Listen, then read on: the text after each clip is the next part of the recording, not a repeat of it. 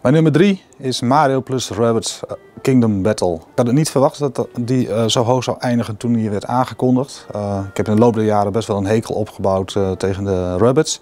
maar ja, Mario zat erin, dus ik moest het toch maar proberen. En toen raakte ik heel erg aangenaam verrast, want de gameplay is echt iets voor mij. Het is turn-based, uh, het gaat lekker diep. Er zit natuurlijk veel humor in. Uh, het zijn die kleurrijke Mario-werelden. Ik denk dat uh, Ubisoft dat echt heel goed heeft gedaan om die sfeer van Mario te pakken. En ja, ik moet zeggen, met die rabbits erbij, op een gegeven moment kwam ik wel een beetje in en begon ik zelfs die te waarderen. Nummer 2 is Super Mario Odyssey. Nou, ik ben een enorme Mario-fan. Ik heb uh, Mario 64 en uh, zelfs Mario Sunshine met heel veel plezier gespeeld. En wat ik daarna een beetje miste in de Mario-games, hoe goed ze ook waren, was dat avontuurlijke gevoel. Dat je echt overal kon gaan zoeken om dingen te ontdekken. En uh, nou, dat is helemaal weer terug in Mario Odyssey natuurlijk. En dat niet alleen door die transformaties in al die verschillende wezens. ja, heb je ook in elk level wel weer totaal nieuwe gameplay en verrassingen. En ja, dat is culminerend in, in bijvoorbeeld New Donk City, dat, dat geweldige finale level.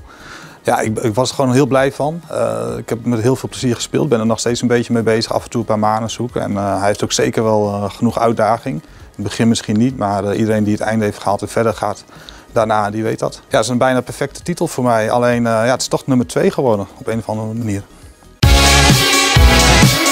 Mijn nummer 1, ja, het is eigenlijk de enige game die voor mij over Super Mario Odyssey heen kon. En dat is The Legend of Zelda Breath of the Wild. Ja, ik vind het echt een, ik denk dat het echt mijn favoriete game ooit is, maar dat is altijd moeilijk om te zeggen omdat ik in een andere tijd natuurlijk ook uh, andere dingen gewend was en zo. Maar ik vind het zo'n uh, bijna perfecte game.